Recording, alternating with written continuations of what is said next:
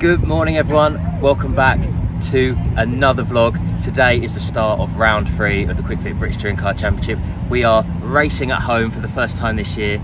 It's at Brands Hatch down in Kent, which is great for us. Um, we're currently in the grandstand, one of the best views in British motorsport this one. Have a quick pan behind me and you can see the view from here. So this weekend we're racing on the Brands Hatch Indy circuit. This is such a tight and twisty circuit. It is invaluable that you get a good qualifying position which makes Saturday, which is today, very, very important as, like I say, it's only 1.21 miles long and it's very twisty, not many straights. So it's going to be an interesting one. Hopefully we can continue our points scoring record. Uh, Jack so far scored points in every single race. Only three drivers have done that so far this year out of the six races, the 29 drivers. So let's go down to the paddock and find out how the guys are getting on ready for the day and FP1. So we're now down in the paddock at Brands Hatch. It's a very unique one, it's very small. We're to head into the garage now and see what the guys are getting up to, uh, ready for FP1 and check out our super, super cool setup at this event. So let's go in there.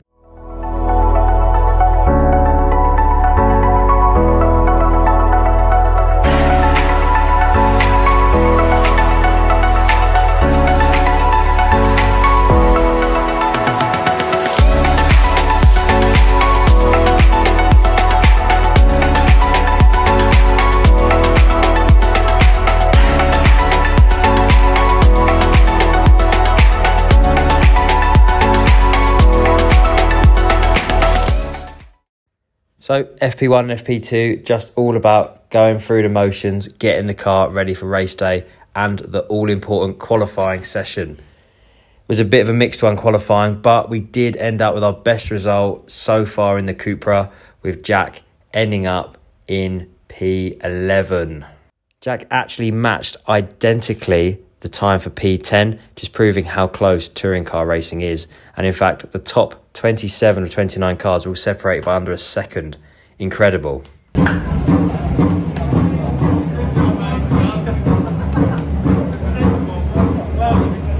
Qualifying day is over. It's been a really good day uh, overall.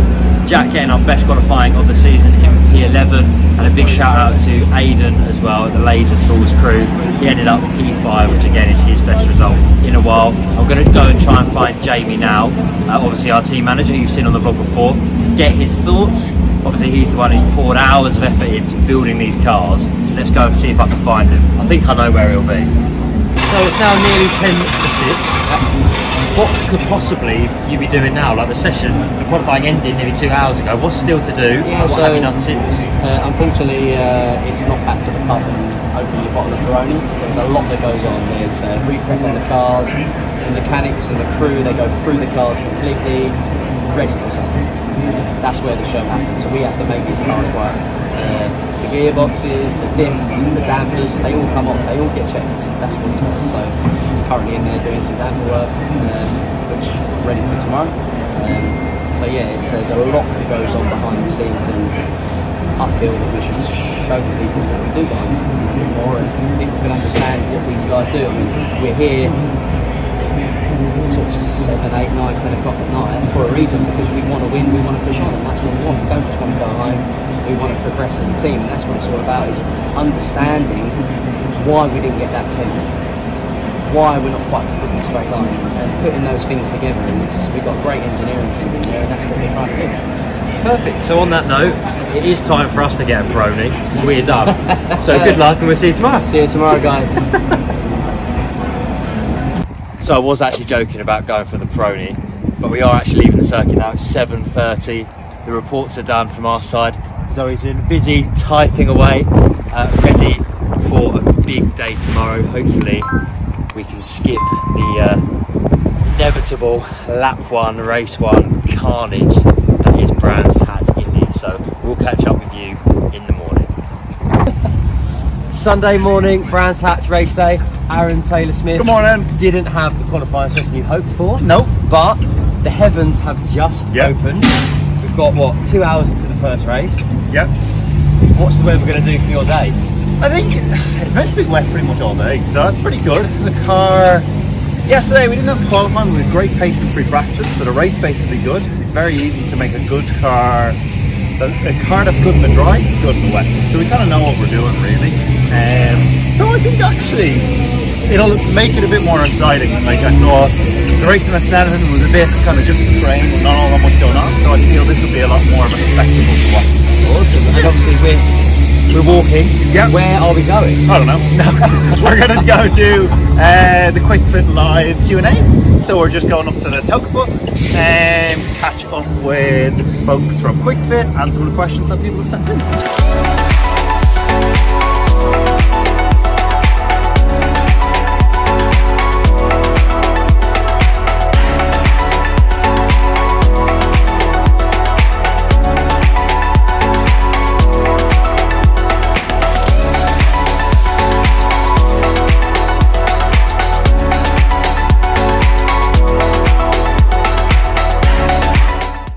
Race one over.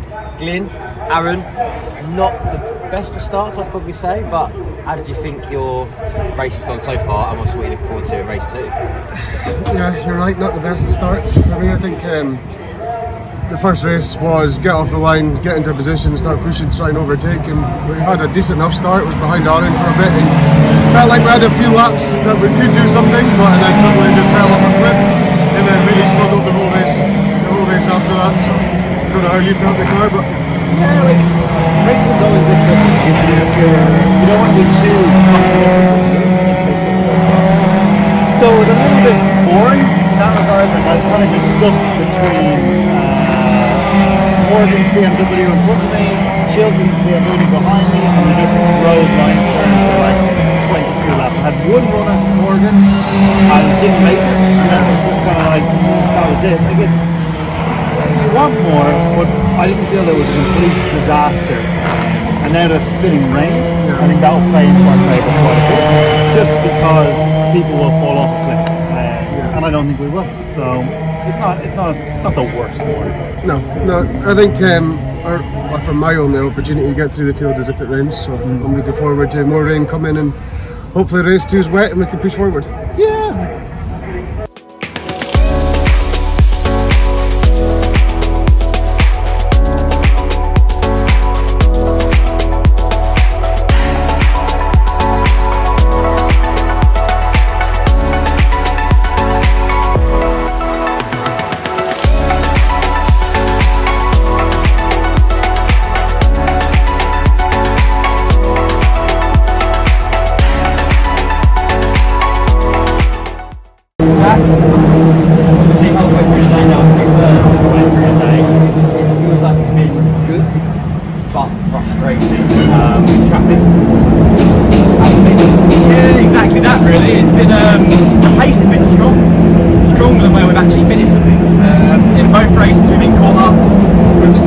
I think you know whether that's ballast or over defending, you know whatever it might be. It's it's been one of those one of those days so far. Um, I think if we got away, we'd be okay. We'd be quite quick, but I, I guess everyone on the grid can say this, can't they? You know, there's lots of tight, tight races going on out there. Um, yeah, I'd like to finish up a little bit higher on the points, but we'll take more point finishes. Well, hopefully, obviously, the final race is coming up now. We're starting into hopefully we can get away and at least sort of say where we think we should.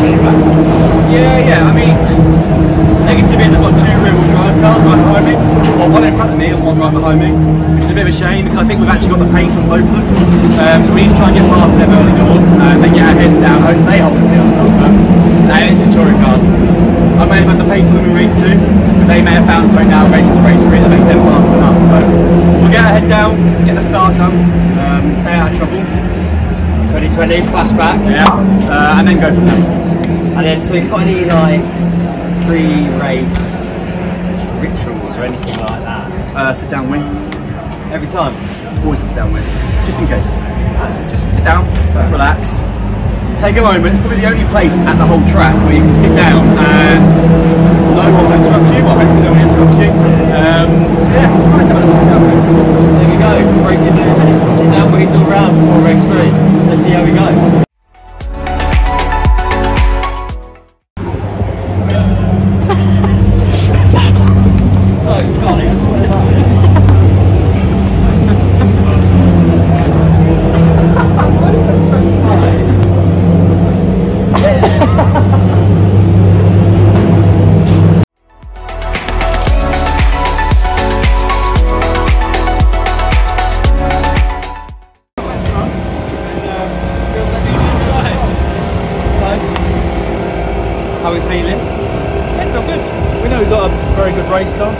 Very strong pace. Um, bit of traffic in the last race. Um, we was behind Nathan for a big chunk of the race. He picked up a little bit of damage at the start, and obviously speaking, it's, it's hard to work together to move forward when you're when you're limping, so to speak. So we know we've got good race pace. Aron, Glynn, Jack, they, they've all lapped at the same same time, which was top 10 pace. So the first grid, front row start, we know we've got the pace, but have we got the luck? Can we still be there after lap two, lap three, and then go on from there? Let's see how we go.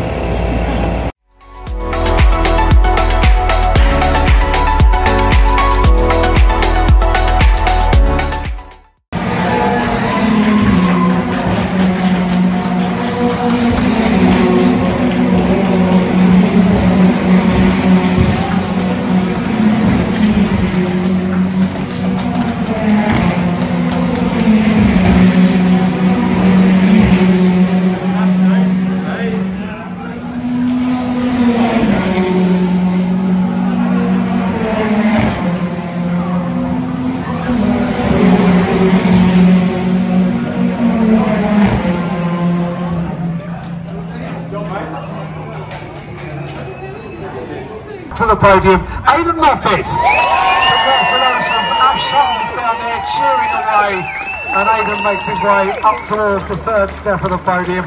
Welcome back, it's been a while, and he's back on the podium is Aiden Moffat.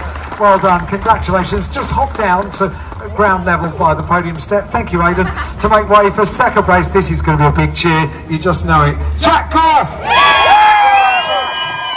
Deputy here for the Cupra Leon.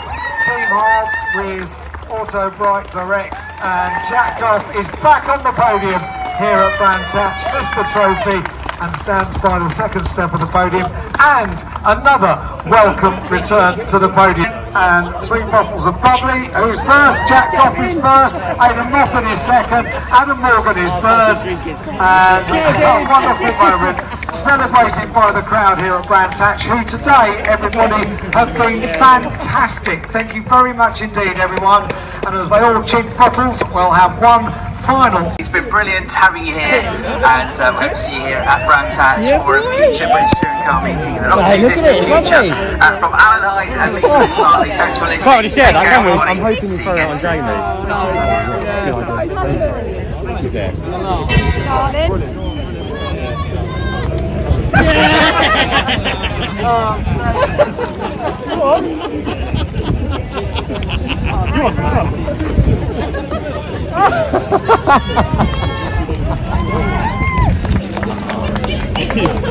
Got him. The real boy. You ain't got far to go, have you? Mate, congratulations. First podium since 2019 In the rain.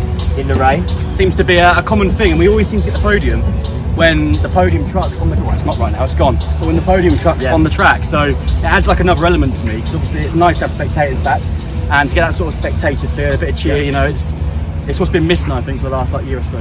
And the good thing is that race, okay, it's raining now, as you can see by my hair, it's absolutely I'm not sure if mine's sweat, champagne, or That's rain. it, exactly. It's a nice combo. But the race itself was pretty much bone dry the entire time.